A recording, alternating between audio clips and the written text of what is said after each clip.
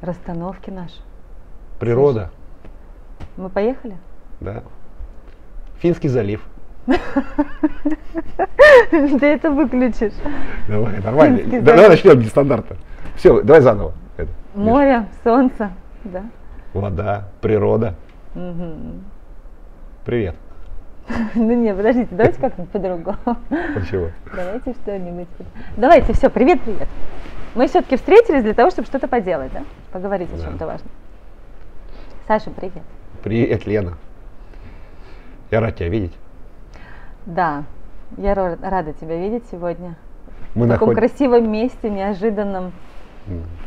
Когда Михаил Приятно. Климчук, э, Бородач ТВ, пригласил нас и сказал, давайте где-нибудь в офисе соберемся. У меня почему-то сразу возникла мысль, не надо в офисе.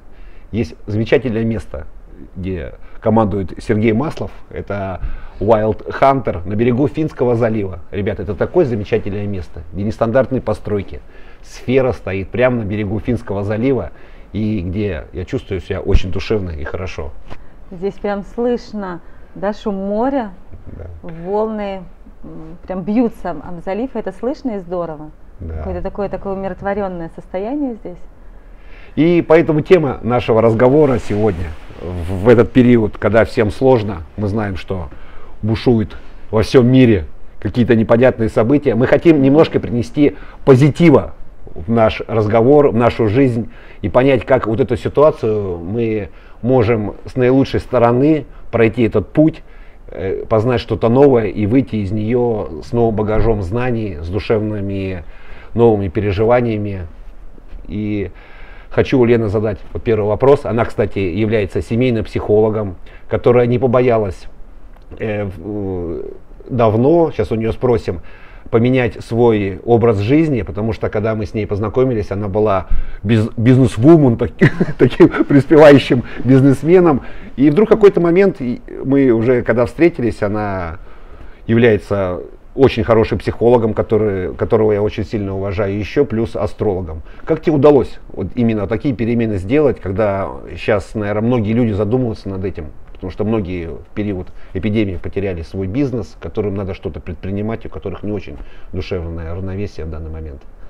Как я пришла к этому, Да. к смене деятельности? Я долгое время работала на станции экономистом, все было Это стандартно. атомная станция у нас есть такая в Сосновом Бору. Да, все стандартно, очевидно. И параллельно у меня был собственный бизнес, свадебный салон Каролина. Мы достаточно успешно в Сосновом Бару были в, этом, да, в этой деятельности. И в какой-то момент, спустя пять лет этого бизнеса, я поняла, что, наверное, это не сверх то, что я хочу и чем хочу заниматься дальше. Вот здесь почувствовал. Да, это какое-то внутреннее состояние, что я хочу что-то большее. Конечно, свадебный салон это сфера, в которой красота, любовь, да, когда пары влюбляются, и они с таким трепетом готовятся к этому дню. И быть свидетелями этого счастья, конечно, очень здорово и трогательно. И, наверное, послужила, конечно, этому переходу моя беременность, я ушла в декрет и поняла, что вот так я больше не хочу. То есть вот так э, действовать, как раньше, пришло этому, пришло этому время завершить. Мгм. И Ты моя лег- мечта... ты, ты легко рассталась с бизнесом. Я продала бизнес, А, продала его. я да. продала бизнес. Достаточно легко, это был момент здесь и сейчас, быстро, за два дня я приняла решение. Мгм. И с такой легкой, наверное, душой отпустила. И ушла в то, что очень давно хотела. Это психология, это психотерапия. И, конечно же, звезды меня всегда впечатляли. Это с детства в дома стояли книги по астрологии. И, видимо, вот это детство а, очень сильно напомнило, и я ушла обучаться в Мгм. астрологию и получать второе высшее образование по психотерапии. Здорово. Лен, а вот сейчас, наверное, всех волнуют вопросы, это именно по твоей специальности. Что же случилось вообще сейчас? Все вот задают вопросы. Что происходит в этом мире? Никто ничего не понимает, куда двигаться. Что случилось э, в планетарном измени- изменении э, нашей Вселенной или что происходит вообще как бы, с нашей А, планетой? Если глубоко идти в эту тему, в эту историю, конечно же, астрология очень четко и точно показывает те изменения, которых мы сейчас оказались. И есть такие главные планеты, э, которые влияют на нашу жизнь и дают невероятные переменные изменения, от которых мы не можем уклониться. Лен, подожди, вот прямо ты вот смотришь, как эти планеты стоят, и вдруг ты четко знала, что в этот период начнется коронавирус.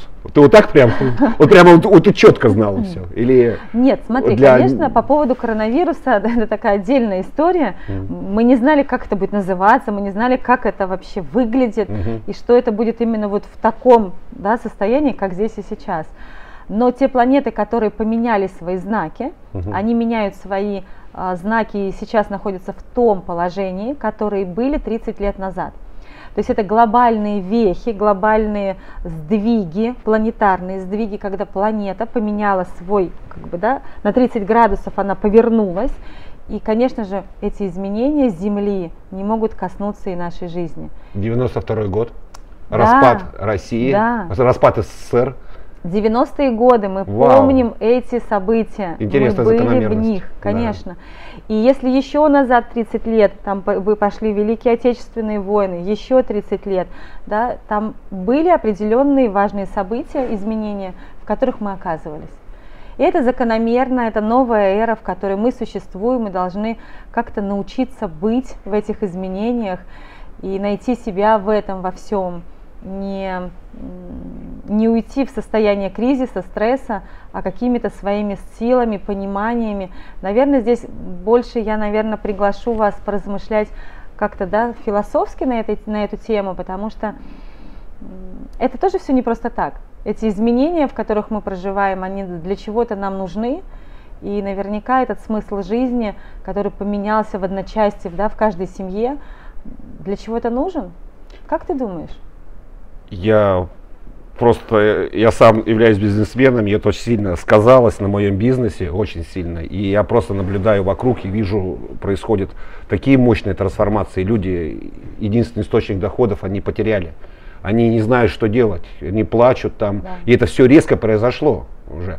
Сейчас, допустим, по автомобильной тематике, сейчас вот прогнозы такие, что э, продажи машин упадут в два раза, допустим. Некоторые отрасли объявят дефолт нефть продается уже ниже ее себестоимости. Угу. Это происходит то, что это сейчас на данный момент, мы еще последствий не, не прочувствовали. Сегодня, какой у нас, 22 апреля сегодня? Да, сегодня 20. Сегодня дедушка Ленин родился. Да. И это, я просто вижу, как люди сейчас реагируют. Это очень сломленное душевное состояние. Еще всех загнали по домам, они сидят вот в этих э, коробочках. В, в коробочках. Что происходит вообще? Это не такой переход, как бы планетарный, мягкий какой-то должен Он быть. Резкий, да? Человек должен. Это какой-то заговор общий, либо это действительно природные изменения? Сложный вопрос. Насчет. Нет, он интересный, очень глубокий. По поводу вселенского заговора, наверное, есть доля правды в этом во всем. Наверняка кому-то это нужно да, не хочется размышлять на эту тему. А, наверное, хочется поговорить о том, что как быть в этих условиях. Да, мы да. действительно резко оказались. У нас же позитивное интервью, позитивное. Да. Давай. Мы все-таки черпаем ресурс, мы да. черпаем какое-то настроение, и находясь на берегу прекрасного моря, а, ресурсы высвобождаются, да, силы как-то приходят, настроение поднимается.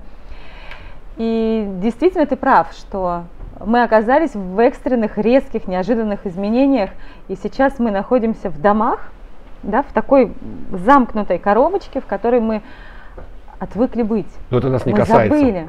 Сейчас мы сидим в гармоничной сфере. Угу. Да, да. Нам сейчас на данный, на данный момент времени, конечно, здорово. Но мы вернемся домой, мы вернемся да, в свою реальную жизнь. И игнорировать реальную жизнь очень неправильно, потому что это будет рождать определенные эмоции, с которыми нам нужно будет дополнительно справляться, реагировать их, иначе те конфликты, которые возникают сейчас в семьях, они будут очень сильно активированы. То есть напряжение между супругами и да, домочадцами растет, потому что мы оказались в непривычных э, условиях 24 часа на 7, Почему так ресницами громко хлопаешь? Почему не говори об этом, да?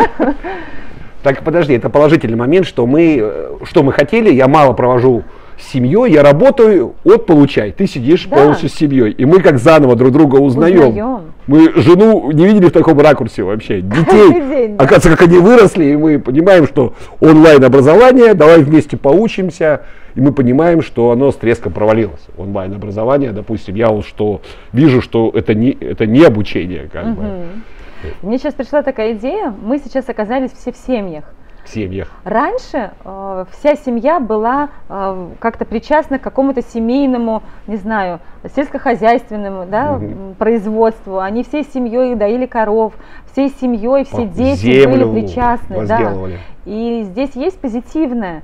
Да, мы оказались в своей семье заново.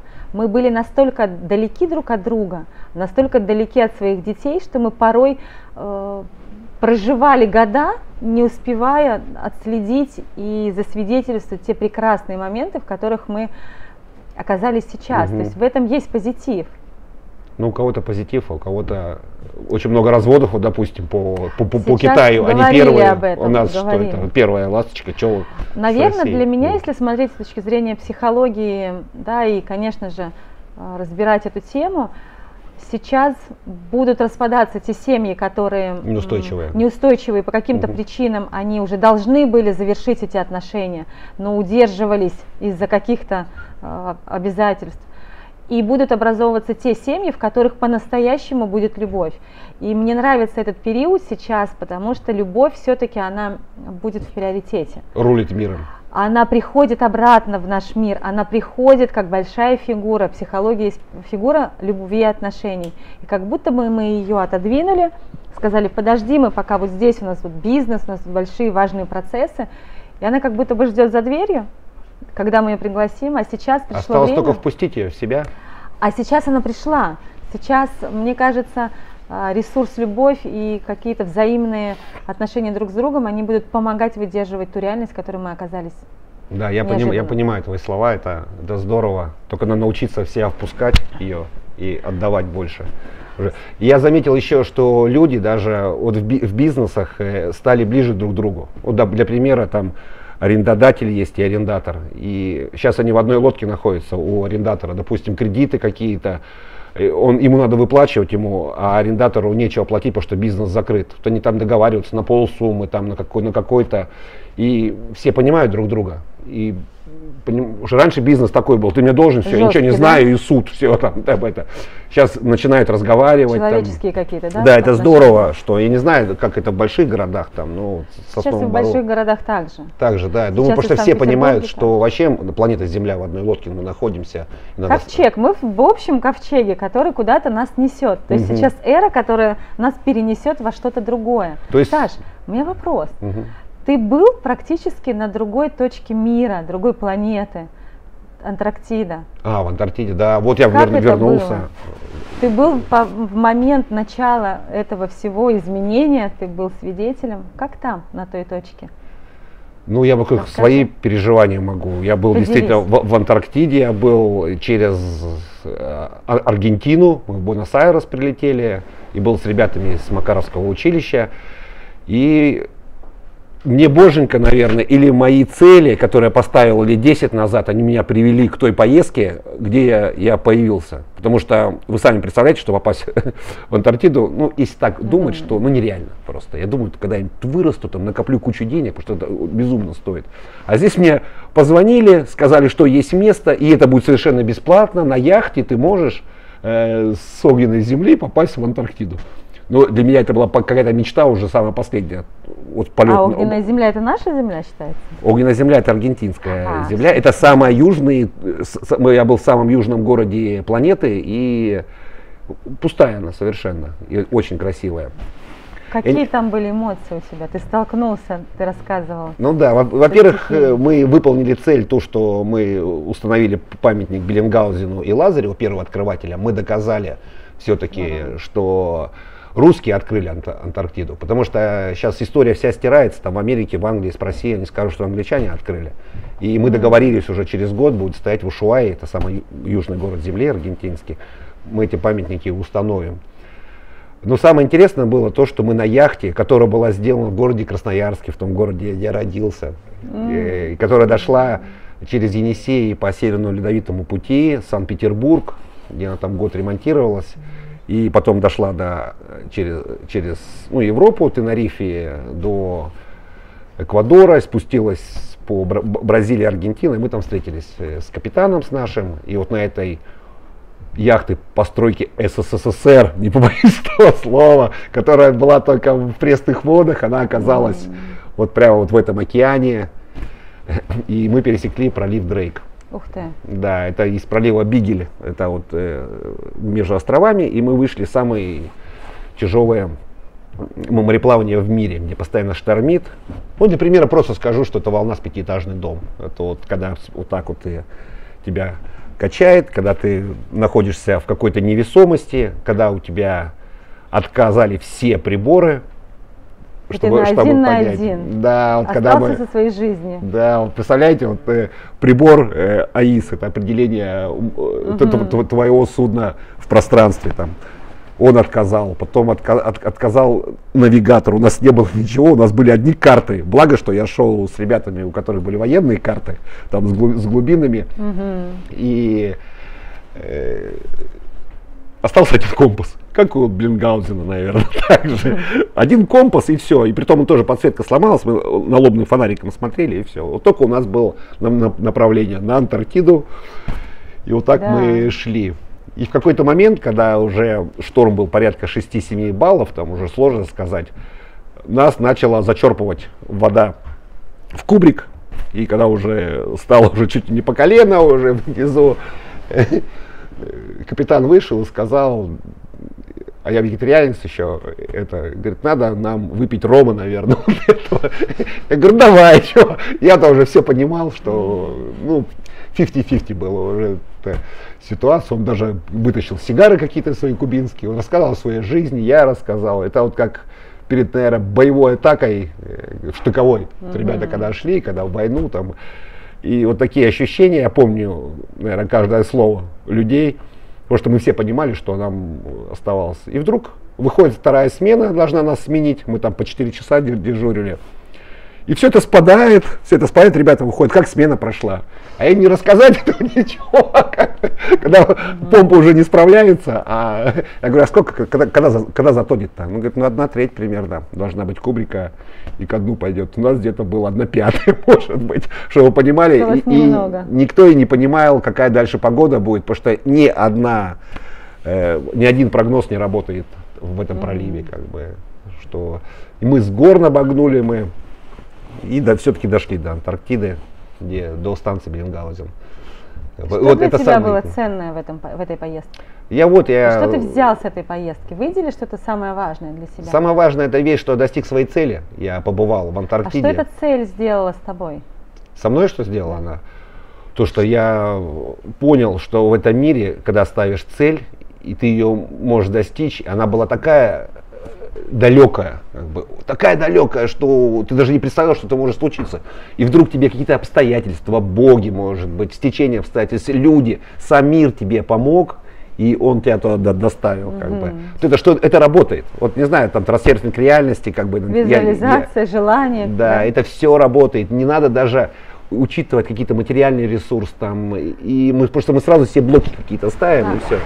А здесь все так получилось и совершенно как бы недорого ну, по, по, по этим понятиям, как бы, что.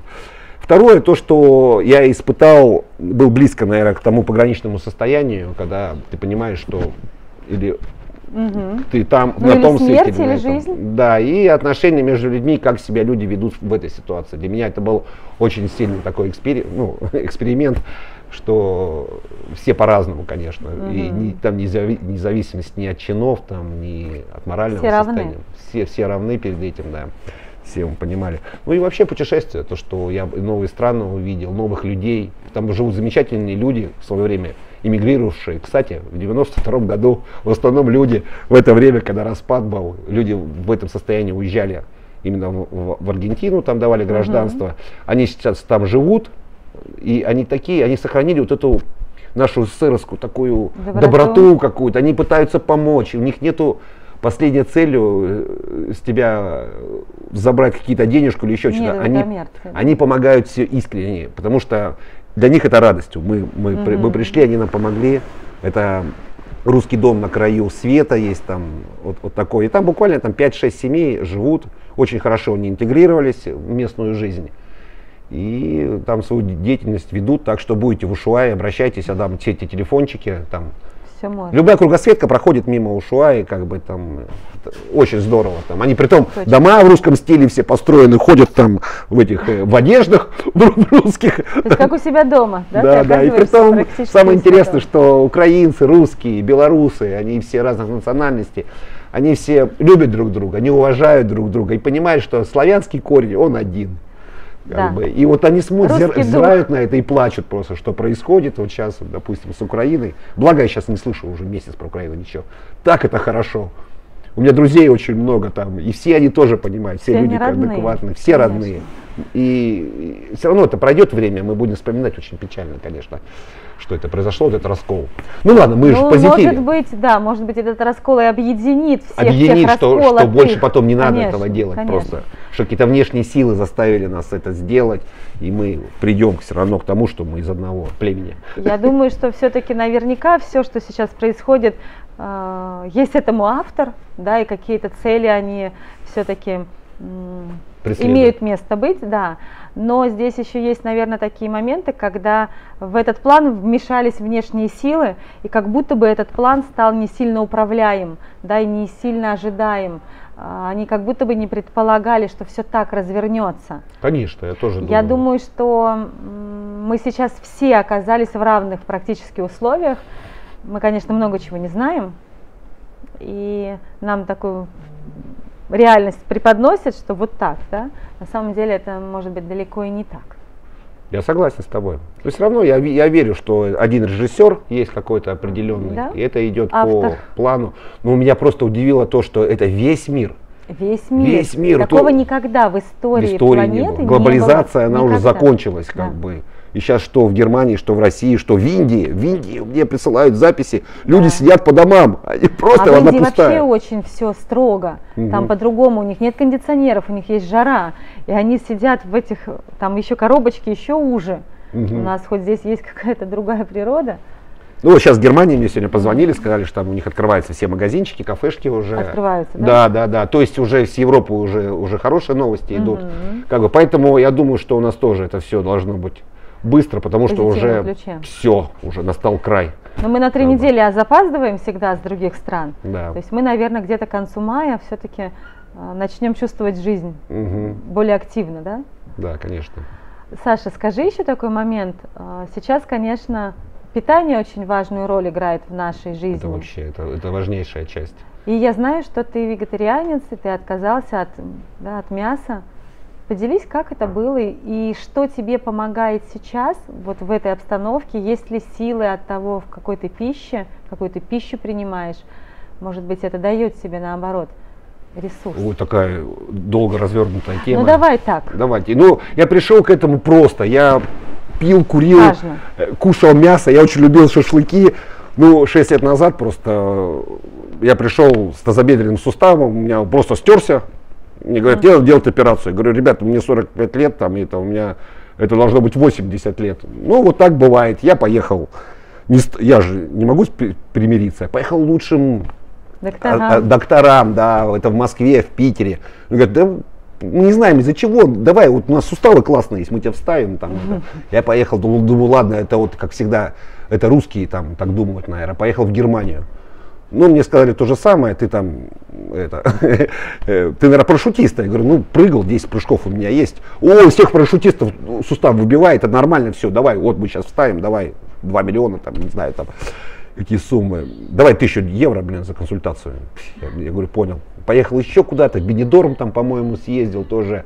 И ты аквалангист, я говорю, ну да, у тебя погружения были ниже 50 метров. Я говорю, были, это из-за этого. Я говорю, почти, это все, это медицина. Я поехал на Алтай, поехал mm. на Белуху, поехал к тем местам, где я встретился с очень поехал. интересным, да. И мне там просто вот я помню, там, не знаю, конечно, искала там шаманов, там эти громкие названия, они среди нас есть. И там человек просто, он травник сам по себе, притом тоже он в 50 лет уехал с Санкт-Петербурга, в Русском музее работал. Он взял на меня, посмотрел, покажи язык, пульс почувствовал, говорит, мальчик, тебе мясо тебя губит и молочка. Mm. Если ты откажешься, у тебя все нормализуется. И после этого я, мне что-то щелкнуло просто. Уже потом стала, информация тут же приходит там, Юрий Юровский там посмотрел, э, много сейчас каналов каких-то интересных. И я понял одно, зачем убивать, убивать ради своего пропитания – чтобы насытить себя тем, что тебе не нужно и вредит, и которое тебе приносит одни несчастья и болезни. Угу. Я переменил просто вот здесь где-то. Это происходит. Перещелкнуло. Да. И чтобы проще было воспринимать, почему люди бросают есть мясо и молочку, из-за того, что молочку вообще никто в этом мире, ни одно животное не ест на планете Земля, когда подходят и отбирают просто молоко матери и пьют. Это только делает человек. Чтобы еще интереснее было, там 10% гноя находится в том молоке, которое вы пьете просто что. И отказывайтесь от него. Это все молочные продукты, это про кальций бред полный вообще. Он вымывает кальций. Вот у меня кальций из сустав вымывался только из-за молока скажи. Мясо – это убийство, происходит. Любое животное, оно выбрасывает, позитивно, конечно. Саш, подожди. Выбрасывает, сейчас, яды, ну вообще нельзя убивать ради своего пропитания. Потом я перешел вот на вегетарианское питание уже. И два года уже по 3-4 месяца пробую сыроедение. Изучил э, дикорастущие травы, благо у меня учители, учителя хорошие, которые меня привели вот к этому моменту. И просто перестройка происходит твоей био, биофлоры, которая у тебя есть. Мы просто, чем мы кормим твой организм, то он потом и требует. Очень все просто. Если вы хотите да. от мяса отказаться, там буквально месяц-два вы давайте другую пищу. Насчет микроэлементов и этого не беспокойтесь. Это совершенно, это самая большая ложь, которая нам навязана средствами массовой информации, умными учеными, которые работают на корпорации которые. И нам просто забили с детства. Вы сами подумайте, что ребенку, когда ты даешь кусок мяса, будет ли он его есть? Нет, Мой никогда, не ест, никогда не будет. Пока мама возьмет его красиво, там что-нибудь сделает, посыпет там и говорит, и, об, и обманывает. Говорит, съешь раз, он, он отворачивается, бросает, и потом ему второй раз, третий, потом хоп, она входит уже, э, да. эта бактерия. Тело запомнила, запомнила, и она хочет его. Гормоны. Ты не будешь да. есть мясо, ты станешь хилый. Ерунда. Кучу вегетарианцев э, есть бодибилдеров, которые там без мяса, без мяса все это делают. Долгая тема, не хочу на ней останавливаться, просто призываю, э, потому что чем больше будет вегетарианцев на планете и сыроедов, тем у нас будет целее планета, мы ее сохраним. Потому что все вырубки лесов, все, что сейчас, я много где был, я видел, что происходит э, с, с, с растительностью на, на земле, это для того, чтобы посадить культуры, чтобы кормить им скот просто. Угу. Вот это происходит сейчас. Если мы, хотя бы сейчас это где-то в Питере, до 5% в России, 4%, в Польше уже 10% вегетарианцев. Очень сильно идет массовое людей осознание какое-то. Вот, наверное, вот планетарного масштаба. Я очень рад этому. Движение. Да, я большие. сам, я топлю за эту тему, я горю ею. Так что вступайте в ряды. Я, хотите звонить, я любую консультацию дам, что я знаю, что я выучил. Как бы. Но я считаю, что я достаточно много изучил этой темы. Я почему тебя спросила про это? Потому что действительно питание в нынешней среде очень важно. И хочу, наверное, как-то успокоить людей, потому что сейчас мы много едим, мы что-то постоянно пережевываем, Конечно. мы, мы без заедаем, конца едим. стрессы свои заедаем. Мы, правда, для того, чтобы переварить ту ситуацию, которую мы есть, нам нужна пища, это нам топливо. Я имею в виду, можно жевать яблоко, жевать морковку, угу. жевать огурец и это помогает переварить тот стресс и напряжение, в котором мы есть. Ну, фрукты, овощи, не бойтесь, почему да, бы я нет? хочу Их сказать, в любом бойтесь, количестве. А, не бойтесь жевать, потому что это помогает справиться с тем стрессом, с которым мы находимся. Это определенный ресурс, Конечно. Я как один из. А, хочется, наверное, что-то такое полезное еще а, нашим Но самое-то интересное, при голодании, наоборот, освобождается больше энергии. Но это другая тема уже, совершенно Конечно. уже. Э, если при голодании, да, человек готов к этому, а если да. человек заполняет себя разными чувствами, сейчас мы оказались в, такой неожиданной ситуации, поднимаются чувства злости, агрессии, да, тоски, да. Еще много одиночества. От, от пищи, от, от мяса, Конечно. очень много агрессии от мяса идет, очень много. И для того, чтобы прожить эти эмоции, э, нам нужны определенные источники и ресурсы. И питание это одно из них, это угу. самый базовый ресурс, пища, сон и э, воздух – это самые базовые ресурсы, которые помогают человеку преодолевать. Ну это все понимают, наверное. Да. А вот еще, Лен, хотел спросить. Не все. Не все? Когда говоришь людям э, рецепт, они очень удивляются, потому что все хотят сложных рецептов и думают, что выход из ситуации очень сложен. На самом деле он очень простой. Все в простых вещах.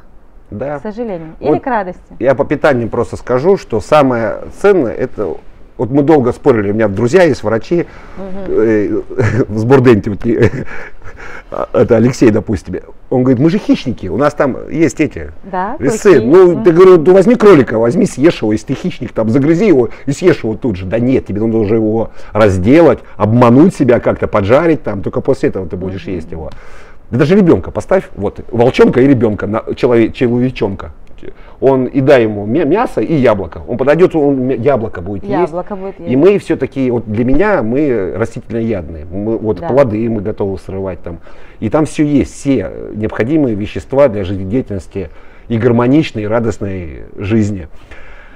А, а я хотел сказать, почему я вел это все, что вот мы растительноядные, и там, а, то, что, вот хотел, что вспомнил, извини, то, то, что готовить пищу не надо. Угу. Вот меня приучили, что самое полезное, ты говоришь простое, правильно. Если есть яблоко, оно самое ценное, есть его надо цельное. И прямо не и, и самое ценное это огрызок, самое это интересное, угу. что если эти семечки, вот его надо съесть, вот этот хвостик может не надо есть. Есть помидор так. Все остальное, когда приготавливается, самые сложные это кулинары, это, это повара, которые портят пищу просто. И это как бы не прискорбно случало, э, звучало и может из контекста как бы нормального сознания выходит, но если морковка наботана должна быть такой, Естественно. Да, природной. и природно, и чем ты меньше мы ее обрабатываем, тем больше нам достается нашему организму. Вот. Да? Это простота. Согласна. Бы. Это простая простота. Там. В простоте вся, вся суть. Да. Практически. И мы возвращаемся, да, к, к нашей природе, возвращаемся к нашим истокам в связи с этим совсем. Конечно. Вот природа возвращаемся это в семью. Природе. У нас очень русский язык, он такой богатый. Мы при родах.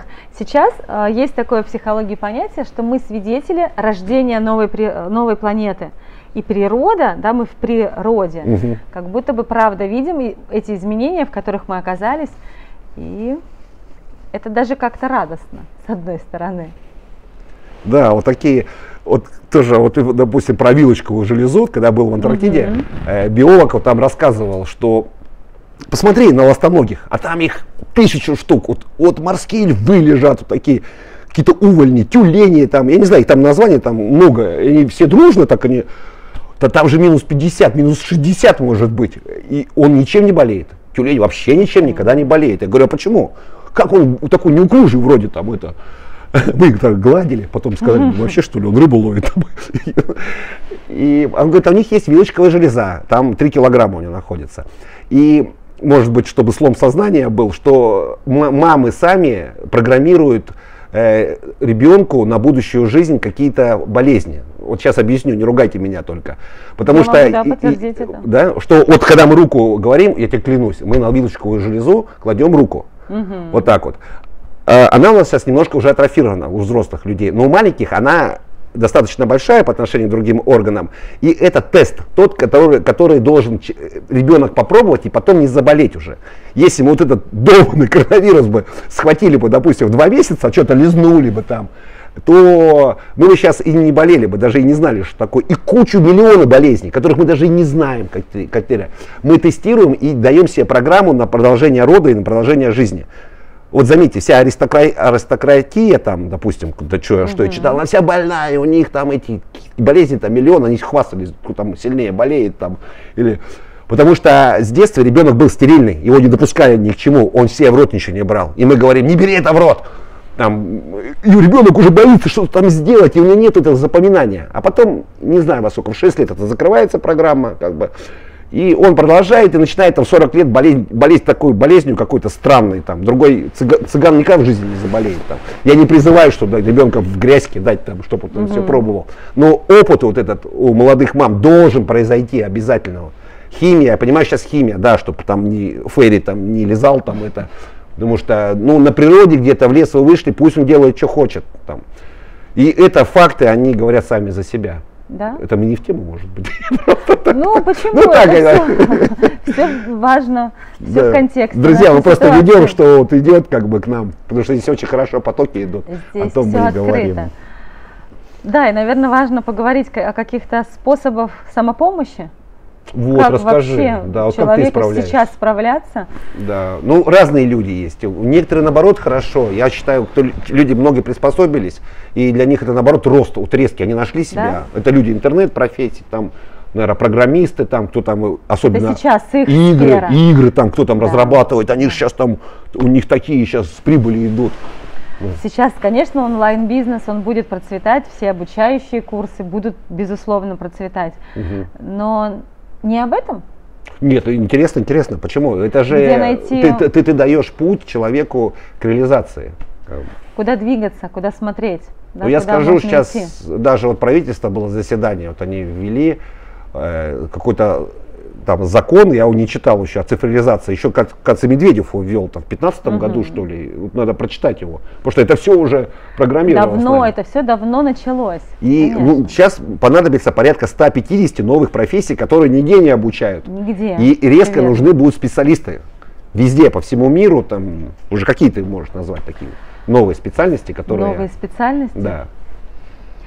Я не знаю, мне кажется, что мы будем возвращаться к каким-то таким истокам, мы будем что-то производить, мне кажется, мы начнем что-то создавать заново, мы начнем разрабатывать разные научные проекты, мне да. кажется, будет медицина сейчас очень хорошо э, вставать, так скажем, в свой рынок, будут производиться разные... Именно народная медицина сольется уже медицина, с, с фармацевтией, да? Я думаю, что да, это сейчас будет так хорошо в акценте. И, конечно же, хочется сказать всем людям, будьте гибкими и ищите способы, где вы сможете себя реализовать, ищите новые возможности, новые направления, обучайтесь тому, чему не обучались никогда, и, возможно, это будет придавать силы. А вот скажи мне, вот обучайся, да, вот, угу. ну, а вдруг это не твое? Вот я вот сейчас в интернете, Смотрите. я пытаюсь угу. там пройти что-то, но я гляжу, мне не цепляет это все. Самый ну, главный индикатор, когда приходит э, человек на консультацию, он говорит, я хочу чем-то заняться. Угу. Я как будто бы что-то ищу и не знаю, что у меня пойдет. И а, самое... ты сама не знаешь? Нет, человек не знает, что а. у меня пойдет. А ты знаешь, как будешь себя вести с ним? Конечно, конечно. А. Нас этому учат в институте, дают инструменты. И первое, самое простое, я говорю, а что ты любил делать в детстве? О чем ты мечтал в детстве? Что ты делал больше всего в детстве? И именно это является первым талантом, а, с чего человек может начать. Например, я учила, я учила кукол, обучала, я сейчас преподаю, казалось бы. Я любила астрологию, я любила какие-то тайные знания, и я тоже сейчас в этом. Вернитесь в детство, вспомните, что я лучше всего делал в детстве. И, возможно, это можно сейчас сделать да. своим делом. И, и самое главное, дело это то, которое вас радует. Только такое дело будет процветать, приносить прибыль, доход, успешность. Именно в этом направлении вы сможете найти себя. Интересно, Не в каком-то да. другом. Ну, все равно какие-то общие слова, как бы, понимаешь, понимаешь, сейчас у людей, вот конкретно же, мы сказали, что резкий переход произошел, Смотри, мы что, вот он сейчас, сейчас сидит без работы, нет источников да? доходов. Э, и говорит, вот себя вспомни там, ну как, ну вспомнил, да, любил самолетики. Ну что, он побежит строить их, что ли, там, самолетики? А почему нет? Они не Может летают. быть, он будет какие-то а, конструкции другие делать. Смотри, очень сложно, не хочется лить воду, да, говорить обобщенно, ну, потому да. что у всех очень все индивидуально. Вот что делал ты в детстве? Что ну вот, я конструкторы любил, да, вот всякие там это. У там, тебя, где... по сути, бизнес связан с машинами. Ну да. Он что-то делает да, ты как-то вот, угу. ну, в какой-то части ты совпал. А что-то еще ты наверняка улюбил делать? Ну, ладно, меня касается, я вспомню обязательно, покопаюсь там. Наверное, что еще будет? Природа, что? земля, Давай. наши растения? Наверное, уже надо, ну, уже надоели, наверное, уже, может, это. Вернемся ли мы после всех вот этих периперий, которые там нас окружают, к прежней жизни? Твое, твой прогноз? Не вернемся. Куда мы вернемся? В какой мир? Расскажи. Мы вернемся совершенно в новое измерение, о котором мы еще не знаем. Мы не знаем, что будет. Мы не знаем, что... Мы не знали тогда, что мы будем с компьютерами, мы не знали тогда, что у нас будут сотовые телефоны. Для нас это было очень в диковину. И когда появлялись первые пейджеры, да, для нас это было сверхсознание. Мгм. И я думаю, сейчас мы на пороге больших глобальных изменений, информационных, и политических, и социальных, и всяких разных. И я думаю, что прежнего мира не будет. Будет новое, интересное, и нам нужно быть готовыми внутри себя к этим изменениям. Мгм. Не сопротивляйтесь и не создавайте внутри себя протест, потому что когда мы сопротивляемся изменениям, когда я не хочу и отрицаю, что происходит вокруг меня, тогда я не могу быть в этом новом измерении, в этом новом состоянии. Я тебя правильно понял, что мы живем стра- страхами вчерашними или завтрашними, что у нас там будет Да. все, плохо, а мы не живем здесь и сейчас. Просто это вот все же и буддийские лидеры, и индуистские, и православные, они же говорят, живи здесь сейчас. Вот, э, вот это самое ценное состояние, которое всех призывает, но многих не доходит. Мы не Это- знаем, что будет завтра, мы не знаем, какое будущее нас ждет. И действительно все писания говорят о том, что живи здесь и сейчас, наслаждайся теми моментами, которые сейчас есть здесь. И будь готовым э, к тем переменам, которые судьба тебе просто преподнесет. Будь гибким, будь в согласии с этим. Смотри на это с какой-то такой большой другой стороны. Мгм. Что есть что-то выше Давай вот все собранную информацию. Давай. Мировое правительство существует и отменит ли границы и будет и- единая страна. Вот это будет? Когда? Ну, ближайшие, допустим, 20 лет. Да. Будет единая Я страна. думаю, без да. границ, без ничего. Бли- Ну, если мы уйдем туда к 20-летию, то да. То есть будет единое правительство. Не сейчас, а через 20-30 лет, я думаю, 20-30 да. лет. Да. Отлично. Интересно. 5G, технология 5G, когда она уже стоят вышки по всему миру. Да? Это, И в Китае, и в Италии это уже существует. это опасно? Нет. Нет? Опасно для чего? Что ты вкладываешь в слово опасность? Ну, что излучение идет э, э, и- импульсное, которых еще не было у нас. Мы сейчас на 4G находимся, и что это как это на сознание влияет. Я не знаю, скажу честно. Все, вопрос. Но это, наверное, честно, потому что мы Мгм. не знаем. Вакцинация будет всеобщая по, по, по миру? Да? И ты допускаешь наличие чипов в человеческом Да. организме? То есть би- био... Я не соглашаюсь с этим, но я допускаю, что мы к этому идем. Но это произойдет? Я думаю, да? Что каждый человек, это ты готова к этому? Нет?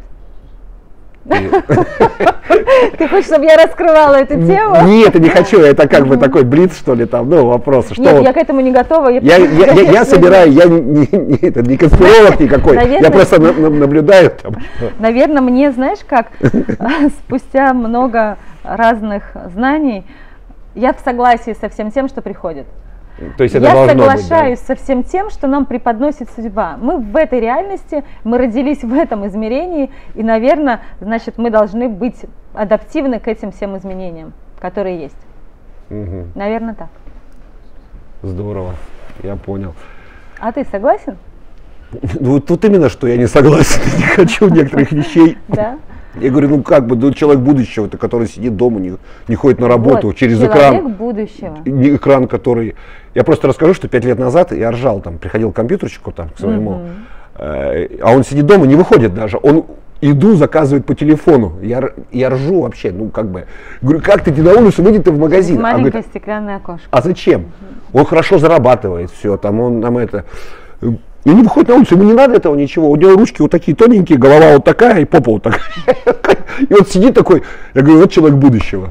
И самое это смешное, когда это все началось, нас призывать быть такими же всем. Это печально, конечно же, печально Просто быть в одиночестве, вот как будто быть бы- в каких-то таких рамках, это тяжело. Мы люди контактные, мы получаем информацию через общение, да, мы налаживаем контакт через общение и, и смотря, и смотреть в глаза очень важно. Конечно, вот это процессе- энергообмен же между нами Конечно. идет. Безусловно. И грустно от того, что мы превращаемся или нас хотят сделать определенными да, существами, которые удобны для своих важных дел. Система образования будет онлайн через два года? Я думаю, что мы к этому идем. И, Будет. Я- возможно, Вопрос конкретный.